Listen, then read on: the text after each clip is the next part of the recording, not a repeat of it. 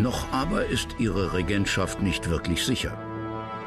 Um den russischen Adel in ihrem riesigen Reich an sich zu binden, bestätigt sie die Rechte der Gutsherren auf leibeigene Bauern, zu ihrem Machterhalt und obwohl sie die Leibeigenschaft ablehnt. Für das Volk aber verfasst sie blumige Manifeste, in denen sie sich als Mutter und Beschützerin Russlands feiert. Grigori Orlov, der ihr zur Macht verhalf, ist in den nächsten zwölf Jahren der Mann an Katharinas Seite. Sie ernennt ihn zum General und Befehlshaber der Artillerie. Doch teilhaben an ihrer halbgottartigen Macht wird er nicht. Wird keiner ihrer Männer.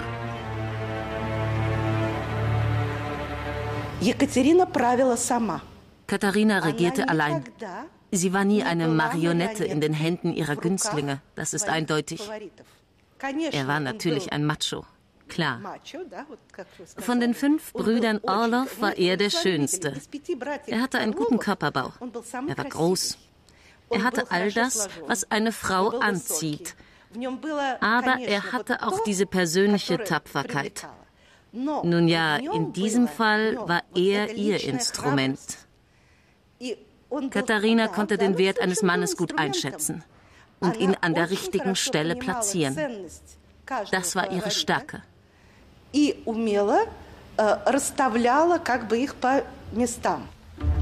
So auch ihren Ex-Liebhaber, den polnischen Fürsten Stanisław Poniatowski. Katharina will ihn in Polen zum König machen – und so ihren Einfluss ausdehnen. Doch für Poniatowski ist Katharina immer noch seine große Liebe. Ich wäre tausendmal lieber Gesandter in ihrer Nähe als hier König. Doch sie befiehlt ihm, in Polen zu bleiben, lässt dort Truppen einmarschieren und ihn am 24. November 1764 in Warschau zum König wählen. Damit wiederum beleidigt sie Orlov, der lamentiert. Poniatowski hat ein Königreich bekommen und ich, Orlov, werde gerade mal in den Grafenstand erhoben. Um sich seine Bedeutung zu beweisen, fängt er an, Katharina zu betrügen. Andererseits will er zeigen, dass er mehr ist als ein Weiberheld. Als 1771 die Pest in Moskau wütet, organisiert er erfolgreich den Kampf gegen die Seuche. Daraufhin Rina Orlov zum Chef der Einwanderungsbehörde. Die ist Teil ihres Entwicklungsprogramms. Die Zarin will, wie ihr großes Vorbild Peter der Große, das rückständige Russland zu einem modernen europäischen Staat machen. Schon 1764 hat sie mit dem Smolny-Institut in St. Petersburg bürgerlichen Mädchen Zugang zu höherer Bildung verschafft. Sie gründet Akademien. Ihr liegt viel daran, als Regentin mit kulturellem Fortschritt zu glänzen. Mit der Eremitage stiftet sie eine Bildersammlung und schmückt sie mit den wertvollen Gemälden italienischer und holländischer Meister.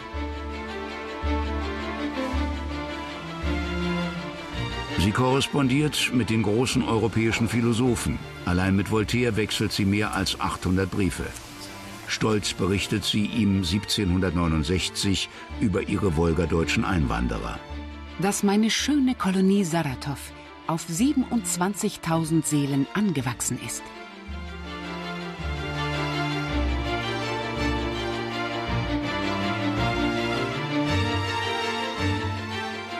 Den französischen Philosophen Denis Diderot kann sie sogar überreden, nach Petersburg zu kommen, um mit ihr Reformen zu diskutieren.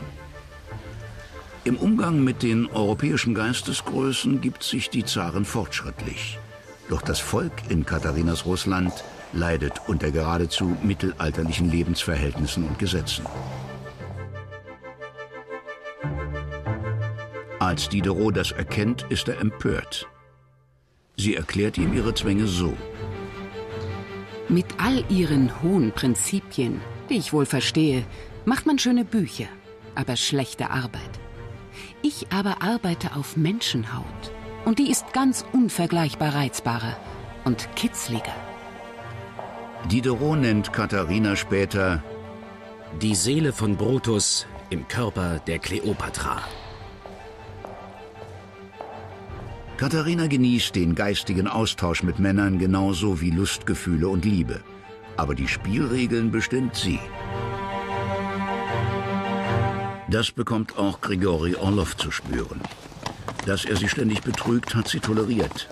Doch als er auch noch beginnt, ihre politischen Entscheidungen zu torpedieren, überspannt er den Bogen. Seine Zeit ist vorbei. Er wird großzügig abgefunden. Niemals wird sich Katharina einen Mann durch Knauserigkeit zum Feind machen.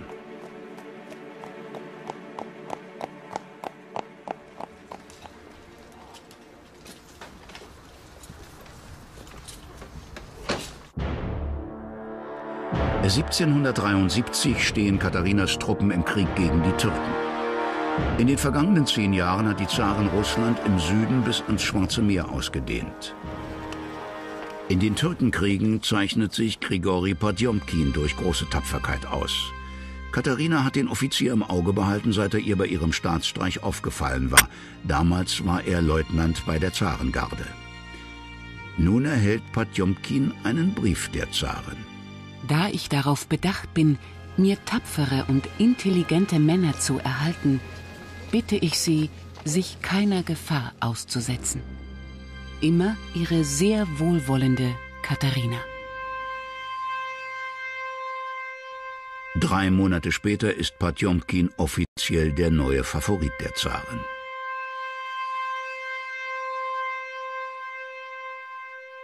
Potjomkin gibt ihr die Zärtlichkeit und Verehrung, die sie so lange vermisst hat.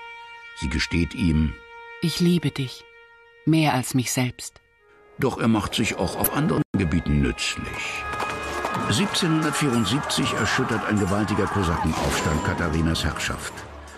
Unter Führung des Atamans Pugatschow kämpfen Bauern um ihre Freiheit und einen eigenen Staat. Potjomkin kann den Aufstand niederschlagen. Pugatschow wird in Moskau hingerichtet.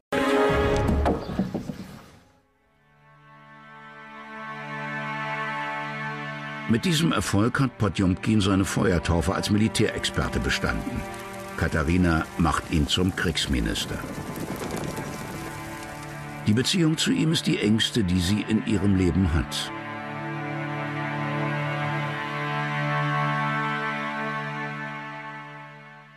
Seit wenigen Jahren ist äh, sehr wahrscheinlich geworden, was früher nur vermutet worden war, dass im Juni 1774 äh, Katharina und Potjomkin geheiratet haben und diese Heirat aber äh, praktisch äh, geheim geblieben ist.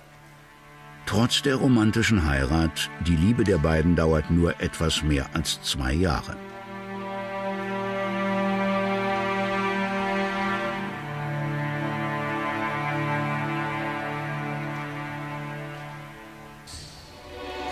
Dann ziehen in Katharinas Gemächer immer jüngere Favoriten ein. Jedermann erwartet, dass Potjomkin in Ungnade fällt. Doch im Gegenteil, er bleibt ihr engster Berater und sucht Katharina sogar die Liebhaber aus. Potjomkin und Katharina ähneln sich in ihrer Kühnheit, ihren Ansprüchen ans Leben, ihren Weltmachtfantasien.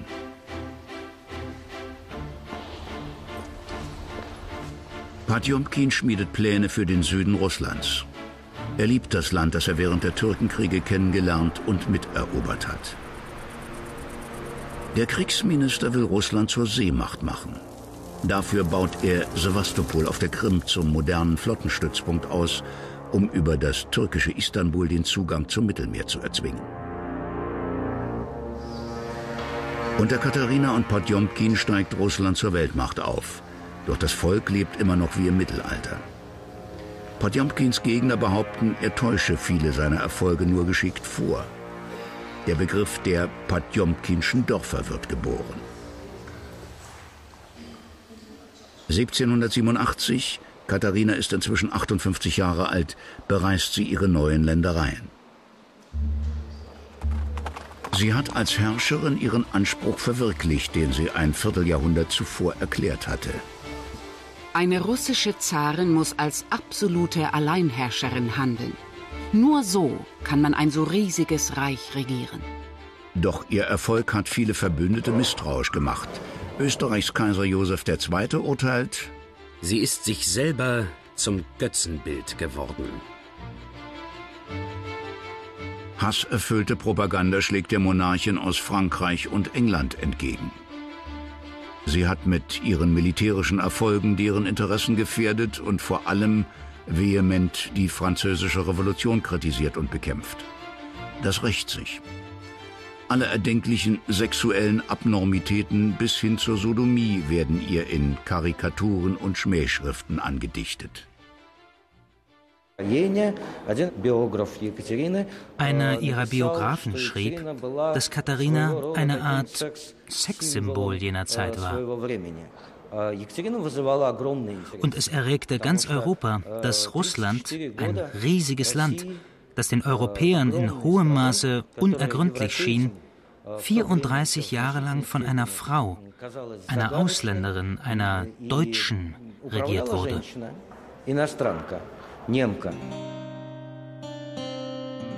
All die Geschichten und Legenden um Katharina jedoch erhöhen noch ihren Mythos.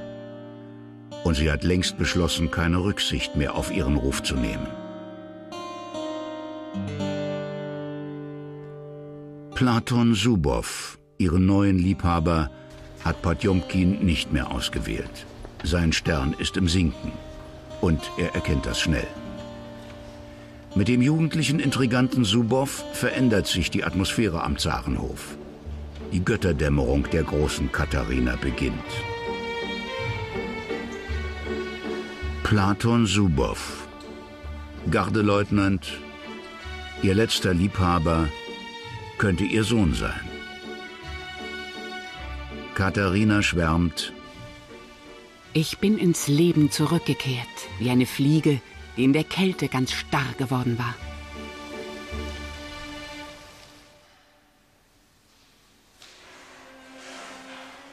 Wenig später erreicht sie die Nachricht vom Tod Potjomkins.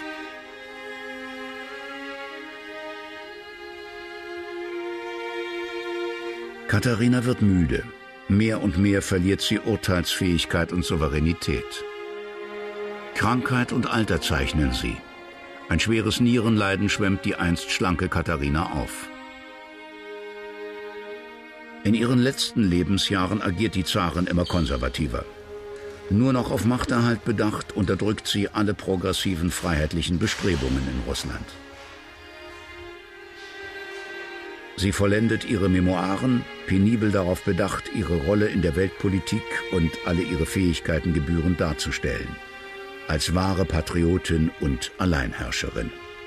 Voller Stolz, für jede Aufgabe den richtigen Mann gefunden zu haben. Am 17. November 1796 stirbt Katharina die Große im Alter von 67 Jahren. In der Zarengruft der Peter- und Paul-Kathedrale zu St. Petersburg wird die einstige Prinzessin aus Zerbst zur letzten Ruhe gebettet.